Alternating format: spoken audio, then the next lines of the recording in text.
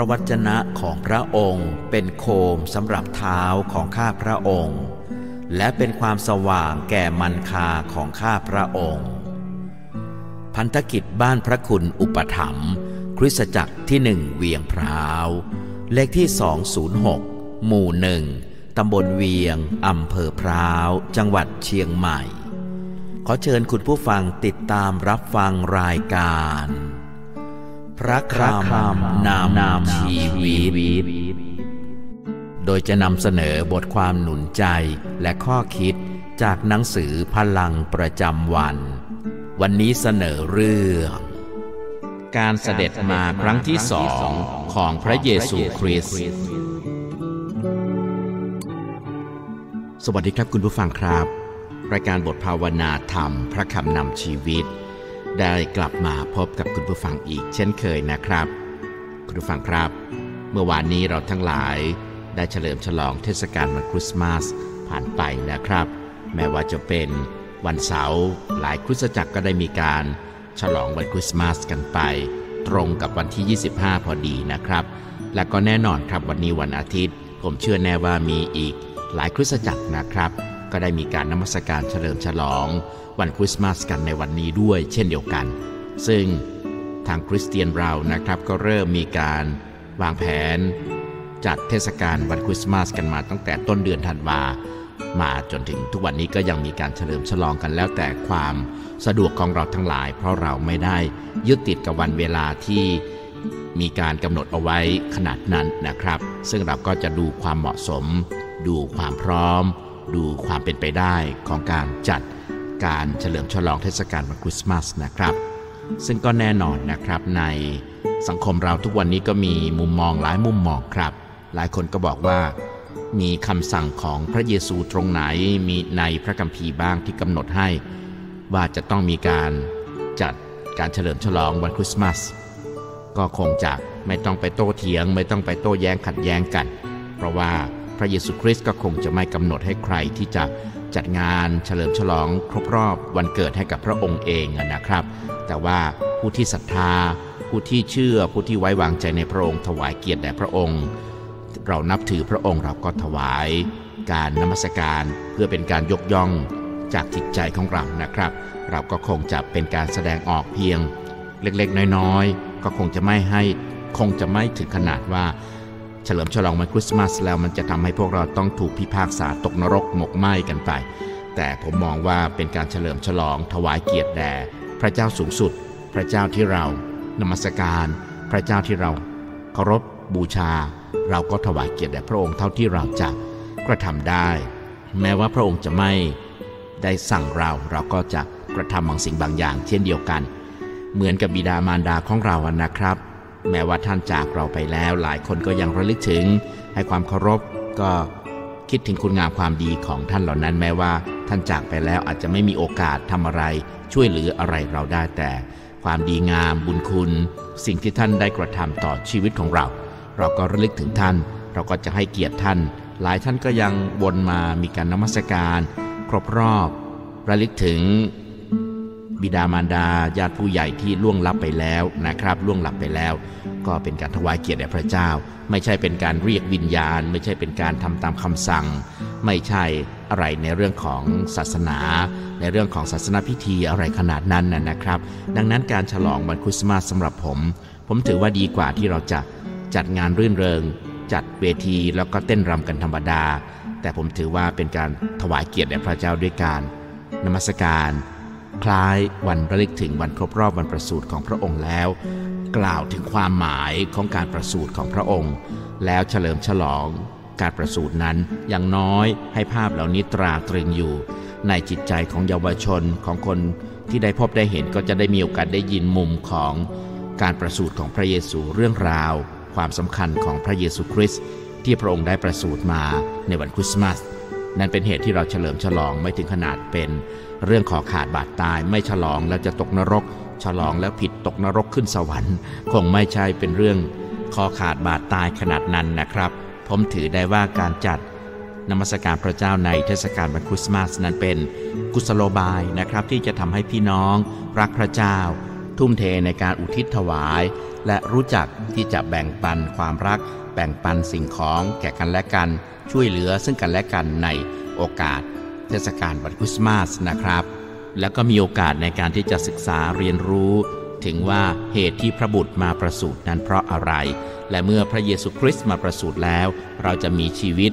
ตอบสนองอย่างไรเมื่อเราต้อนรับพระองค์เข้ามาในรางหญ้าแห่งหัวใจของเราอะไรแบบนี้นะครับ บางครั้งบางช่วงไม่มี เหตุการณ์อะไรเรายังจัดค่าย จัดการอบรมพิเศษเพื่อที่จะเรียนพระคำของพระเจ้าด้วยกัน เรายังมีการออกไปรีทรีตออกไปล่องเรือ นั่งแพ ไปที่ภูเขาไปสถานที่ต่างๆ เพื่อที่จะเรียนพระคำของพระเจ้าด้วยกัน ดังนั้นผมถือว่าน่าจะไม่แตกต่างกัน ในการที่เราจะเฉลิมฉลอง ขอหนุนใจเราทั้งหลายนะครับ ขอให้การฉลองคริสต์มาสของเรามีความหมาย และทำให้เรารักพระเจ้า รักพระเยซู รักพี่น้องและมีโอกาสในการที่จะแบ่งปันความรักของพระเจ้า ให้กับทุกคนมากยิ่งขึ้นด้วยนะครับ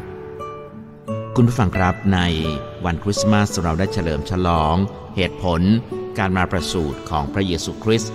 การบังเกิดของพระเยซูเพื่อที่จะให้เราได้รับความหวัง ได้มีโอกาสพบกับแสงสว่างที่พระเจ้านำมาให้กับมนุษยชาติที่อยู่ในความมืดมน นั่นคือแสงสว่างที่อยู่ในพระบุตรของพระเจ้าองค์พระเยซูคริสต์เราก็ได้เฉลิมฉลองด้วยความชื่นชมยินดี ในวันประสูติของพระองค์ผ่านไปนะครับ วันนี้พระคำของพระเจ้าที่เราจะมาศึกษาด้วยกันเนี่ยนะครับ เราจะพูดถึงการเสด็จกลับมาครั้งที่สองขององค์พระเยซูคริสต์ด้วยกันนะครับ ซึ่งสิ่งเหล่านี้ก็จะเป็นสิ่งที่สำคัญด้วยที่เราผู้เชื่อ ก็ควรจะมีการตื่นตัวเรียนรู้ และมีการเตรียมชีวิตของเราให้พร้อม ในการรับเสด็จขององค์พระผู้เป็นเจ้าที่จะเสด็จกลับมาอีกครั้งหนึ่งนะครับ ซึ่งการเสด็จกลับมาของพระองค์ในครั้งนี้ พระองค์จะมาพิพากษา และพระองค์จะมากำจัดสิ่งชั่วร้าย ให้หมดสิ้นไปจากชีวิตของมนุษยชาติทั้งหลายนะครับ ซึ่งแน่นอนครับสำหรับเราทั้งหลายที่เชื่อศรัทธาในองค์พระผู้เป็นเจ้า เราก็รอคอยด้วยความหวัง ที่จะได้มีโอกาสเฉลิมฉลองครอบครอง ร่วมกับพระองค์ ร่วมกับธรรมิกชนทั้งหลายที่ล่วงหลับไปก่อนหน้าเราแล้วนะครับ ส่วนบรรดาผู้ที่ปฏิเสธ และหันหลังให้กับพระองค์ก็จะเป็นเวลาที่น่าหวาดกลัวสำหรับพวกเขา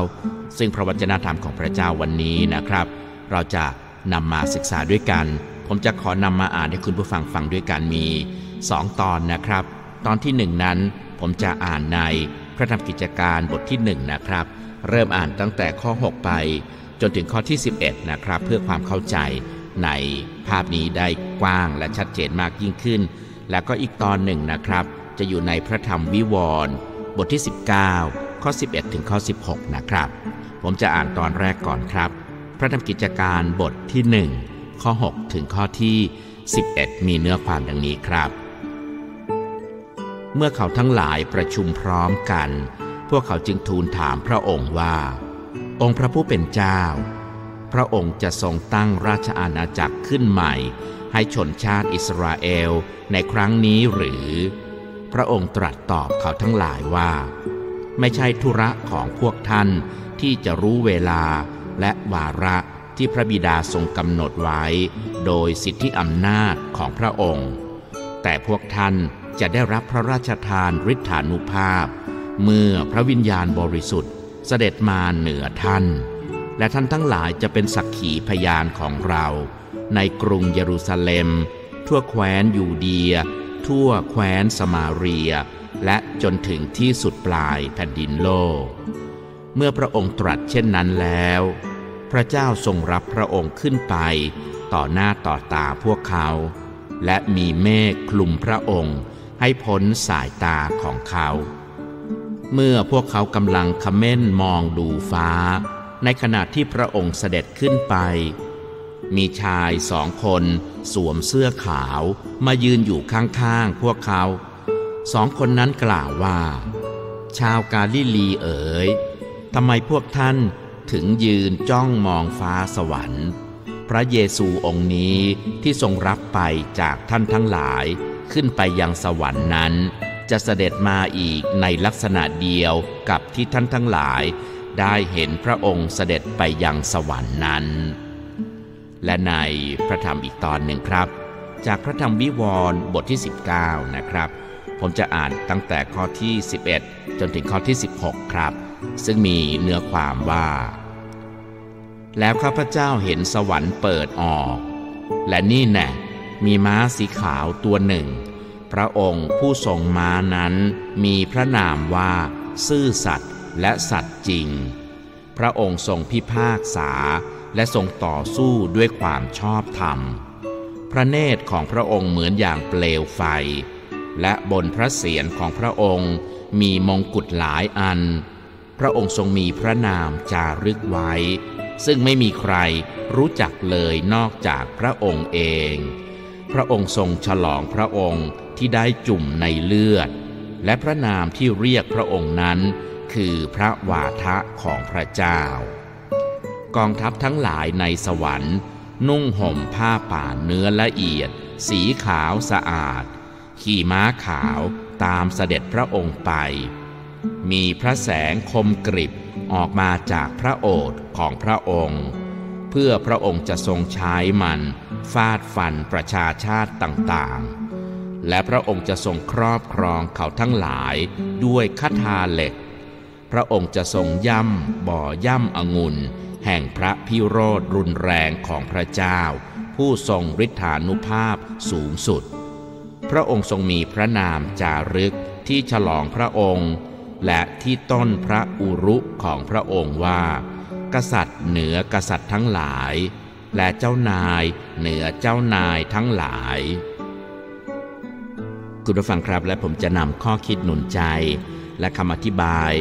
พระวจนะธรรมของพระเจ้าในตอนนี้มาแบ่งปันให้กับคุณผู้ฟังนะครับ ซึ่งมาจากหนังสือบทภาวนาธรรมพลังประจำวัน ซึ่งมีเนื้อความดังนี้ครับการเสด็จกลับมาครั้งที่สองของพระเยซูคริสต์ เป็นความหวังของผู้เชื่อที่ว่า พระเจ้าจะทรงครอบครอง และควบคุมทุกสิ่ง พระองค์ทรงซื่อสัตย์ในพระสัญญาของพระองค์เสมอ ซึ่งบันทึกในกิจการบทที่1ข้อ11 นะครับ และเหตุการณ์นี้ก็จะเป็นไปตามคำพยากรณ์ที่บันทึกไว้ในพระวจนะของพระองค์นะครับ ในตอนแรกจากพระธรรมมัทธิวบทที่ 24 ข้อ 30 ซึ่งได้กล่าวว่า เมื่อนั้นหมายสำคัญแห่งบุตรมนุษย์จะปรากฏขึ้นในท้องฟ้า มนุษย์ทุกชาติทั่วโลกจะทุกโศก แล้วจะเห็นบุตรมนุษย์เสด็จมาบนเมฆในท้องฟ้า ทรงฤทธานุภาพ และทรงพระรัศมีอย่างยิ่ง และอีกตอนหนึ่งครับจากพระธรรมวิวรณ์บทที่หนึ่งข้อ7นะครับ ได้กล่าวว่า นี่แน่ พระองค์จะเสด็จมาพร้อมกับหมู่เมฆและในตาทุกดวงจะเห็นพระองค์ แม้แต่คนทั้งหลายที่แทงพระองค์ และมนุษย์ทุกเผ่าพันธุ์ทั่วโลก จะคร่ำครวญเพราะพระองค์ จะเป็นไปอย่างนั้น อาเมน และอีกตอนหนึ่งนะครับในพระธรรมทิตัส บทที่สองข้อ 13 ได้กล่าวว่า ในขณะที่เรากำลังรอคอยความหวัง อันน่ายินดี และการมาปรากฏของพระสิริของพระเจ้ายิ่งใหญ่ คือพระเยซูคริสต์พระผู้ช่วยให้รอดของเรา คุณผู้ฟังครับเราได้เรียนรู้ว่า ในการเสด็จมาครั้งแรกนั้น พระเยซูคริสต์ทรงมาประสูติในโลก เป็นทารกน้อย ในรางหญ้าที่เมืองเบตเลเฮม การบังเกิด ชีวิต พันธกิจของพระองค์บนโลกนี้ การสิ้นพระชน การเป็นขึ้นมาจากความตาย ซึ่งเราสามารถพบเหตุการณ์ทั้งหมดนี้ใน หนังสือพระกิตติคุณทั้งสี่เล่มนะครับ มัทธิว มาระโก ลูกา แล้วก็ยอห์นนะครับ ซึ่งเหตุการณ์ทั้งหมดนั้น เป็นสิ่งที่ทำให้คำพยากรณ์หลายหลายอย่าง ในพระคัมภีร์ ทั้งพันธสัญญาเดิมและพันธสัญญาใหม่ เกี่ยวกับพระเมสสิยานั้นสำเร็จเป็นจริง อย่างเช่น ในพระธรรมอิสยาห์บทที่ 7 ข้อ 14 ที่กล่าวว่า เพราะฉะนั้น องค์เจ้านายจะประทานหมายสำคัญด้วยพระองค์เอง นี่แน่หญิงสาวคนหนึ่งจะตั้งครรภ์และคลอดบุตรชายคนหนึ่ง และคนจะเรียกนามของเขาว่า อิมมานูเอล และอีกตอนหนึ่งครับ อยู่ในพระธรรมอิสยาห์บทที่ 9 ข้อ 6 ถึงข้อ 7 ที่เราคุ้นเคยกันเป็นอย่างดี และอ่านกันเป็นประจำทุกปีในวันคริสต์มาสนะครับ และนอกจากนี้ก็ยังอยู่ในพระธรรมอิสยาห์บทที่ 53 นะครับ พระเยซูคริสต์พระองค์ได้ทรงทำให้บทบาทของพระเมสสิยา คือผู้รับใช้ที่จะต้องทนทุกข์ทรมานได้สำเร็จตามคำพยากรณ์นั้น แต่อย่างไรก็ตามนะครับก็ยังมีคำพยากรณ์อีกหลายอย่างที่ยังไม่เกิดขึ้น เป็นสิ่งที่คาดหวังและเชื่อว่า การเสด็จกลับมาครั้งที่สองนี้ พระองค์จะทรงทำให้บทบาทแห่งพระเมสสิยา พระผู้ช่วยกู้ของคนอิสราเอล และจอมกษัตริย์นั้นสำเร็จเป็นจริงตามคำพยากรณ์ ซึ่งเราก็จะพบใน พระธรรมเสคาริยาบทที่ 12 ข้อ 10 นะครับ ซึ่งได้กล่าวว่า และเราจะเทวิญญาณแห่งความโปรดปราน และการวิงวอนบนราชวงศ์ดาวิดและชาวเยรูซาเล็ม ดังนั้นเมื่อเขาทั้งหลายมองดูท่าน ผู้ซึ่งเขาเองได้แทง เขาจะไว้ทุกข์เพื่อท่าน เหมือนคนไว้ทุกข์เพื่อบุตรคนเดียวของตน และร้องไห้อย่างขมขื่นเพื่อท่าน เหมือนอย่างคนร้องไห้เพื่อบุตรหัวปีของตน คุณผู้ฟังครับ พระเยซูคริสต์พระองค์จะเสด็จกลับมาเมื่อไหร่ และเหตุการณ์จะเป็นไปอย่างไรนั้น ไม่มีใครรู้วันเวลาที่เหตุการณ์นั้นจะเกิดขึ้น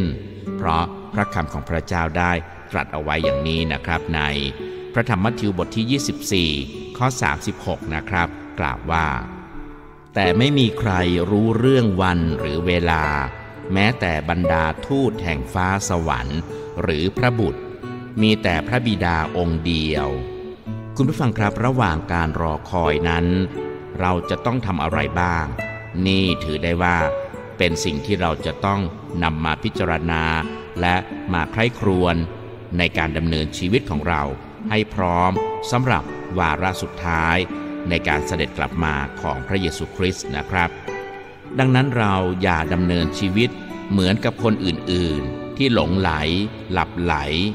แต่เราจะต้องตื่นตัวและควบคุมตัวเราเองนะครับ ตามที่บันทึกไว้ในพระธรรมหนึ่งเทสโลนิกา บทที่ 5 ข้อ 6 ที่บอกว่า เพราะฉะนั้นเราอย่าหลับเหมือนอย่างคนอื่น แต่ให้เราเฝ้าระวังและมีสติ และในพระธรรมหนึ่งโครินบทที่ 15 ข้อ 58 ได้กล่าวเอาไว้ด้วยนะครับว่า ฉะนั้นพี่น้องที่รักของข้าพเจ้า จงมั่นคงอยู่อย่าวันไหว จงทำงานขององค์พระผู้เป็นเจ้า ให้บริบูรณ์ทุกเวลา ท่านทั้งหลายพึงรู้ว่า ในองค์พระผู้เป็นเจ้า การตรากตรำของท่านจะไม่ไร้ประโยชน์ คุณผู้ฟังครับ ให้ท่านลองถามตัวท่านเองดูนะครับว่า ถ้าพระเยซูคริสต์เสด็จกลับมาวันนี้ ท่านพร้อมหรือเปล่า คุณผู้ฟังครับ จะอย่างไรก็ตามนะครับ ให้เราที่จะรู้จักใช้เวลาทูลขอสติปัญญา จากองค์พระผู้เป็นเจ้า ที่เราจะมีสติมีความเข้าใจ และดำเนินชีวิตในปีใหม่ที่กำลังจะมาถึงนี้ เพื่อให้ชีวิตเราเป็นพร ทั้งกับตัวเราเองกับผู้อื่น กับคริสตจักร และมีความพร้อมเสมอสำหรับวาระสุดท้ายนั้น คุณผู้ฟังครับเพื่อเป็นการสรุปในวันเวลาที่พระเยซูคริสต์จะเสด็จกลับมาครั้งที่สองซึ่งเราทั้งหลายไม่รู้ว่าเป็นวันเวลาเมื่อไหร่นั้นนะครับ ผมจะนำพระคำของพระเจ้ามาอ่านให้กับคุณผู้ฟังฟังครับ จากพระธรรมลูกาบทที่ 12 ข้อ 35 เป็นต้นไป ซึ่งได้กล่าวว่า ท่านทั้งหลายจงคาดเอวไว้ และให้ตะเกียงของท่านจุดอยู่ จงเป็นเหมือนคนที่คอยรับนายของตน เมื่อนายจะกลับมาจากงานสมรส เพื่อว่าเมื่อนายมาเคาะประตูแล้ว พวกเขาจะเปิดให้นายได้ทันที บ่าวพวกนั้นซึ่งนายมาพบว่ากำลังคอยเฝ้าอยู่ก็เป็นสุข เราบอกความจริงแก่ท่านทั้งหลายว่า นายผู้นั้นจะคาดเอวไว้ และให้บ่าวพวกนั้นนั่งลง และท่านจะมาปรนนิบัติ ถ้านายมาเวลาสองยาม หรือสามยาม และพบว่าบ่าวกำลังคอยเฝ้าอยู่ บ่าวพวกนั้นก็เป็นสุข คุณผู้ฟังครับ นี่คือภาพที่เล็งถึงวันเวลาที่พระเยซูคริสต์จะเสด็จกลับมา และเราทั้งหลายควรที่จะดำเนินชีวิต มีความพร้อม อยู่เสมอ ไม่หลับไหล ไม่หลงลืม เตรียมพร้อมที่จะต้อนรับนายที่จะกลับมา ทันทีทันใดเมื่อท่านมาเคาะที่ประตูนั้นนะครับ ขอให้ชีวิตของเราเป็นเหมือนบ่าวในเรื่องนี้ เพื่อเราจะมีความพร้อมในวันที่พระองค์เสด็จมานั้นนะครับเอาละครับคุณผู้ฟังครับผมจะขอนำรายการในวันนี้อำลาจากคุณผู้ฟังไปก่อนด้วยเวลาเพียงเท่านี้ครับ ไว้กลับมาพบกันใหม่ในตอนต่อไป ขอพระเจ้าอวยพระพรคุณผู้ฟังทุกทุกท่าน สวัสดีครับ